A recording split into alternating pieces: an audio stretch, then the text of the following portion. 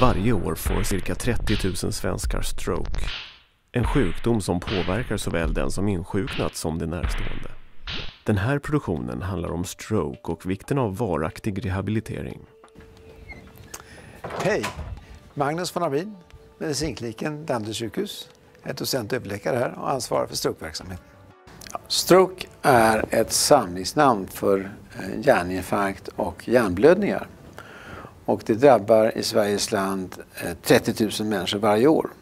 Det som sker eh, när man får en stroke är att det är en cirkulationsstörning till hjärnan. Det kan antingen vara en propp som stoppar blodflödet eller en blödning som gör att blodet inte kommer fram dit till nervcellerna eh, i hjärnan. Ett strokesymptom kan vara snabbt övergående. Då kallar vi det för TIA. TIA är en förkortning för transitorisk i kemisk attack. TIA ser vi ofta som ett varningssymptom för att kunna få en stroke. Det är orsaken till att vi ser det så allvarligt och att man vill ta hand om det tidigt för att kunna hindra att det blir stroke. De vanligaste symptomen som man får vid stroke eller TIA är förlamningssymptom, synbortfall, talsvårigheter.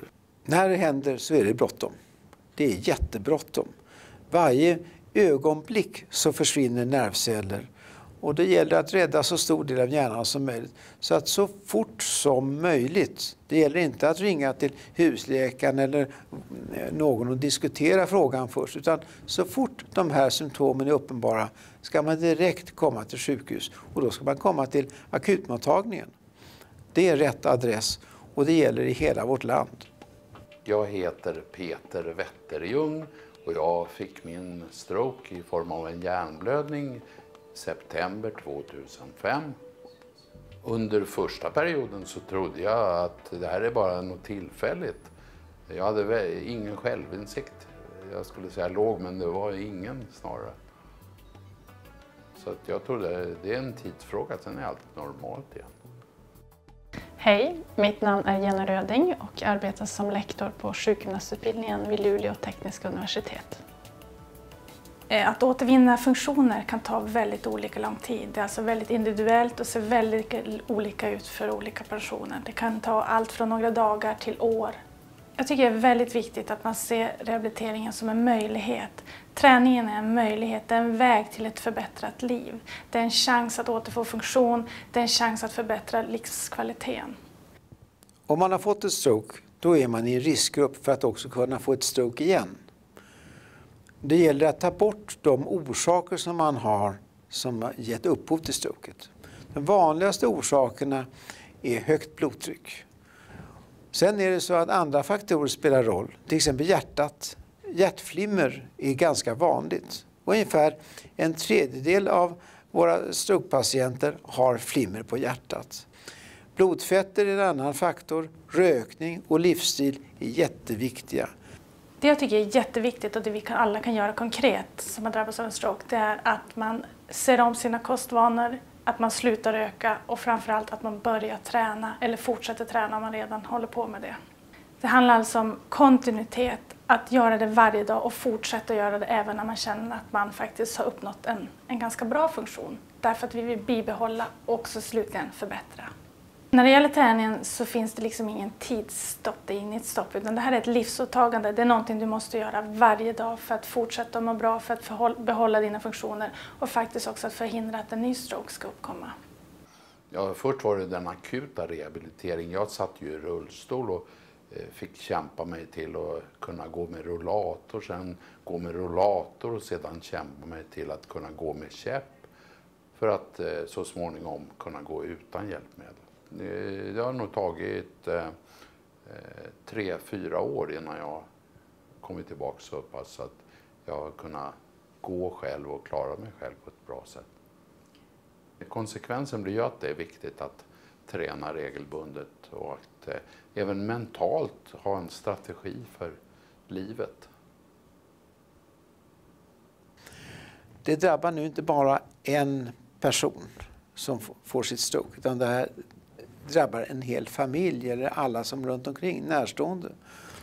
Och det påverkar samhället. Det är en oerhört kostbar situation för samhället. Men ett svårt lidande många gånger för en familj. Och många gånger tänker man inte på vilken omfattning ett stroke får. Jag tror att ni som anhöriga har en väldigt, väldigt, väldigt viktig funktion här. Det behövs mycket stöd, det behövs peppning, det behövs uppmuntran och ibland också tröst.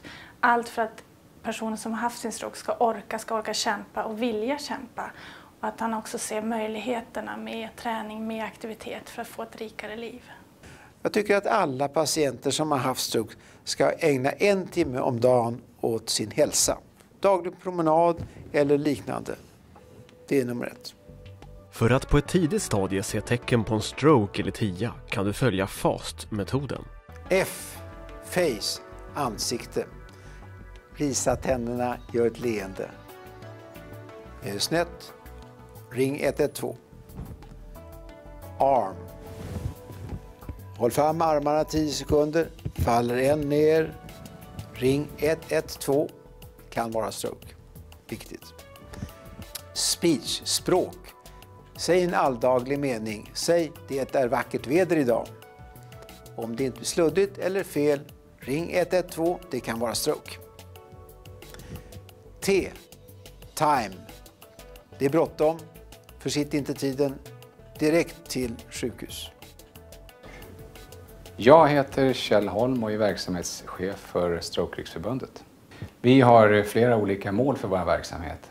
Och det första målet är ju att skapa opinion och påverka samhällsutvecklingen så att de som har haft stroke och deras närstående får bättre levnadsvillkor. Eh, det andra målet är att eh, jobba förebyggande. Och det gör vi genom att sprida information om riskfaktorer och också naturligtvis friskfaktorer. Det tredje målet det är att eh, man ska få god vård, omsorg och rehabilitering. Och det har vi skapat eh, på det sättet att vi har gjort en strokekompetensutbildning som vänder sig till eh, personal inom hela vårdkedjan. Från akutvård till socialtjänstens insatser. Det fjärde målet det är våra 69 föreningar, det arbete som utförs där. Där kan de som haft stroke och deras närstående få stöd, gemenskap och eh, stimulans i olika eh, former, i aktivitetsformer. Det femte målet är att sprida kunskap om stroke. Det sjätte och sista målet är att stödja forskning. Jag vill uppmana alla som haft stroke eller som är närstående att ta kontakt med sin lokalförening och bli medlemmar i Stroke Riksförbundet. Ju fler vi är, ju mer kan vi påverka samhällsutvecklingen. Många som har drabbats av en stroke är rädda för att träna. All forskning idag pekar på vikten av fysisk aktivitet. Det finns ingenting viktigare för att förhindra en stroke och det finns ingenting bättre heller för att förbättra och bibehålla de funktioner som du har återfått. Träna!